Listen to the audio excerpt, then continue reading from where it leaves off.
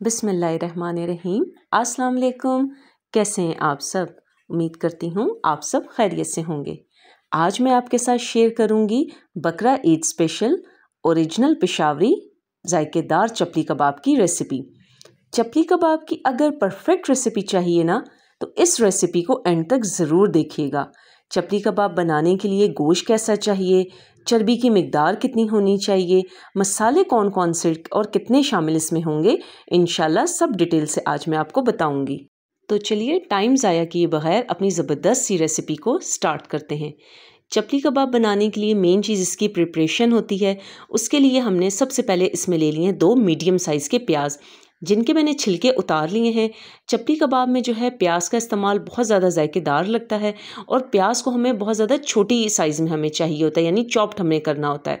आप चाहे तो इसे हाथों की मदद से भी कर सकते हैं। मैं यहाँ पर चॉपर का इस्तेमाल कर रही हूँ। चॉपर में अगर प्याज करेंगे तो बहुत ज़्यादा ये फ़ाइन हो जाएगा और जब हमने प्याज में से इसका पानी निकालना होगा तो बहुत आसानी के साथ प्याज का पानी भी इसमें से निकल जाएगा। कोशिश कीजिए कि हाथों की मदद से अच्छे तरीके के साथ प्याज का जो पानी है वो निकाल लें, वरना आप मलमल के कपड़े में भी सारा प्याज डाल के उससे भी अच्छे तरीके के साथ प्याज को निचोड़ सकते हैं। तो आप देख सकते हैं कि टोटल दो प्याज में से कितना सारा पानी निकला है। इस सारे पानी को हम गिरा देंगे और प्याज को अलग रख लेंगे। अब चलते हैं इसका खुशबूदार मसाला बनाने के लिए। सबसे पहले हमने ले लिया है एक टेबल स्पून सफ़ेद ज़ीरा, एक टेबल स्पून जितना ही साबुत धनिया और एक टेबल स्पून जितना ही हमने इसमें अनारदाना ले लिया है। अब इन तीनों चीज़ों को हमने एक मिक्सी जार के अंदर डाल के मोटा मोटा सा, ज़रा दरदरा सा हमने इसको कूट लेना है। ये हमारे कबाबों में बहुत ज़बरदस्त सी खुशबू देगा। साथ ही दो अदद अंडे थे, उन्हें मैंने फेंट लिया अच्छा सा। नमक मिर्च कुछ भी इसमें शामिल नहीं किया, बस इसको तवे पे आप डाल के इस तरह फ्राई कर लें छोटे छोटे पीसेज में कट कर लीजिएगा। अब बारी आ जाती है कीमे की। तो यहाँ पर मैंने बीफ का कीमा लिया है। आधा किलो ये कीमा है 500 ग्राम जितना, और 100 ग्राम इसमें चर्बी का इस्तेमाल किया है। कीमा को जो है मशीन से दो से तीन दफ़ा मैंने निकलवा लिया था, और इसकी जो बोटी थी कीमे की, ये बहुत साफ़ सुथरी थी, इसमें छिछड़े वगैरह किसी किस्म के नहीं होने चाहिए। तो अब इसमें शामिल किया है एक टीस्पून भर के मैंने नमक।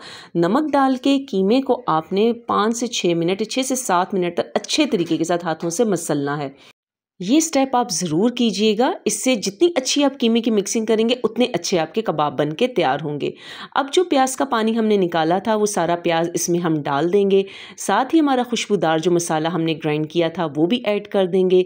एक टीस्पून जितना अदरक का पेस्ट और एक टीस्पून जितना लहसुन का पेस्ट हमने इसमें शामिल कर दिया है। एक टेबल स्पून भर के कुटी हुई लाल मिर्चें हैं, वो हमने इसमें डाल दी हैं। हाफ़ टी स्पून अजवाइन है, फिर यह है कि जो चपली कबाब है वो बोझ नहीं करते, भारीपन नहीं देते। एक टीस्पून जितना पिसा हुआ गरम मसाला हम इसमें ऐड कर देंगे और आधा कप जितना मकई का आटा है मेरे पास, मैं वो इसमें शामिल कर रही हूँ।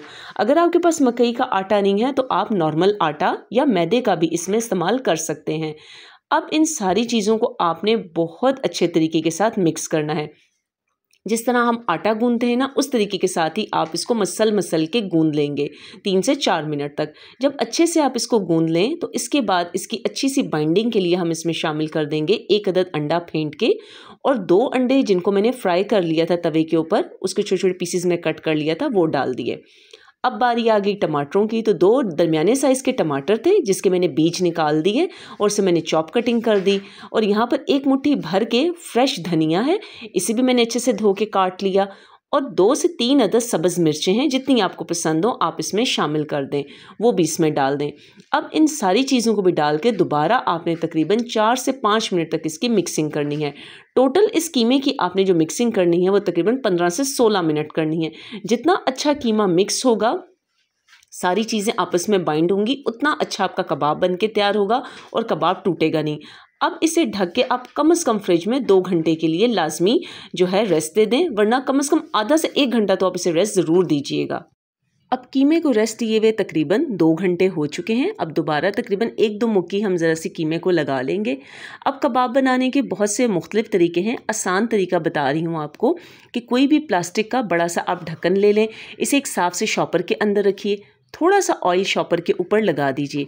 उसके बाद जितना आपका हथेली मुट्ठी का साइज़ है, उतना आप कीमे, कीमा ले लें और इसे हाथों में बॉल की तरह बना लें ताकि इसके अंदर जितने भी क्रैक्स वगैरह हों, वो सारे ख़त्म हो जाएँ। अब इस बॉल को, इस जो आपने ये ढक्कन सा लिया है, इसके अंदर डाल के अच्छा सा सेट कर लें। इससे क्या होगा ना कि आपके जो सारे कबाब हैं, वो बिल्कुल एक शेप के और एक साइज़ के बनेंगे। अब हाथों की मदद से थोड़ा बहुत आप इसे सेट कर सकते हैं और अपने हिसाब से आप इसका साइज़ बना सकते हैं। तो यहाँ पर जो है दूसरी तरफ़ मैंने ऑयल गर्म होने के लिए रख दिया है। मीडियम टू लो फ्लेम पे हमारा ऑयल गर्म है। ठंडे तेल में कभी भी जो है कबाबों को फ्राई नहीं करना चाहिए। इसे हम मीडियम टू लो फ्लेम पे ही फ्राई करेंगे। टोटल इसका जो फ्राइंग टाइम है वो सात से आठ मिनट है। क्योंकि इसकी मैरिनेशन भी हो चुकी है और कीमा इतना ज़्यादा टाइम नहीं लगता पकने में। तो तकरीबन सात से आठ मिनट में आपके अच्छे से कबाब बन के तैयार हो जाएँगे। शुरू में तीन मिनट आपने कबाबों को नहीं पलटना, तीन मिनट के बाद आपने इनको उलट पलट करते जाना है। तो माशाल्लाह से आप देख सकते हैं कितने लजीज और मज़ेदार हमारे चपली कबाब बन के यहाँ तैयार हैं। अब मैं आपको दूसरा तरीका भी बता देती हूँ। कोई भी आप एक प्लेट ले लें, उसको थोड़ा सा ऑयल लगा के आप हल्का सा ग्रीस कर लें। इसी तरह कीमा आप उठा लें और हाथों में इसका बॉल बना लें। प्लेट के ऊपर आप रख दें और इसी तरह हाथों की मदद से इसको प्लेट में आप फैलाते जाएँ। चपली कबाब थोड़े से बड़े साइज़ के होते हैं और अगर साइड्स वगैरह से थोड़ी सी डी शेप भी हो जाए तो कोई मसला नहीं है, क्योंकि इनकी कोई अथेंटिक शेप वगैरह नहीं होती। जिस साइज़ में भी आप, जिस शेप में भी आप इनको बनाना चाहें, ये बन सकते हैं। तो बस कोशिश करें कि जिस फ्राई पैन में या तवे के ऊपर आप बना रहे हों, बहुत ज़्यादा आप एक दफ़ा में ना डालिए। दो या तीन जितना आपका तवा या फ्राई पैन का साइज़ हो, उस हिसाब से आप इनको डालते जाइए। और सारे कबाबों को एक टेम्परेचर पर आपने बनाना है मीडियम टू लो फ्लेम पर आपने इन्हें पकाना है। और जैसी आप डालें तो फ़ौरन से इनके ऊपर तेल ज़रूर आप डालें। इस तरह ये होता है कि कबाब टूटता बिल्कुल नहीं है। तो यहाँ माशाल्लाह से देख सकते हैं कि हमारे बेहतरीन से चपली कबाब तैयार हैं। चपली कबाब की आप सॉफ्टनेस चेक करें, अंदर से एकदम जूसी और सॉफ्ट हैं और ऊपर से क्रिस्पी हैं। ना ये टूटेंगे और ना ही ये श्रिंक होंगे। जायके में लाजवाब हैं ये। ओरिजिनल पिशावरी चपली कबाब की रेसिपी है ये। इन्हें सर्व करें सलाद के साथ, हरी चटनी के साथ। इस ईद पर अगर आपने कुछ चटपटा और टेस्टी खाना बनाना है तो ये चपली कबाब ज़रूर बनाएँ। आप आँखें बंद करके इस रेसिपी को ट्राई करें। यकीन करें, बिल्कुल भी ख़राब नहीं होगी। बिल्कुल परफेक्ट रेसिपी दी है मैंने। उम्मीद करती हूँ कि हमेशा की तरह आपको मेरी आज की रेसिपी बहुत पसंद आई होगी। अगर आप मेरे चैनल पर नए हैं और चैनल को अभी तक सब्सक्राइब नहीं किया तो चैनल को लाइक सब्सक्राइब और शेयर करना बिल्कुल ना भूलिएगा। Thank you for watching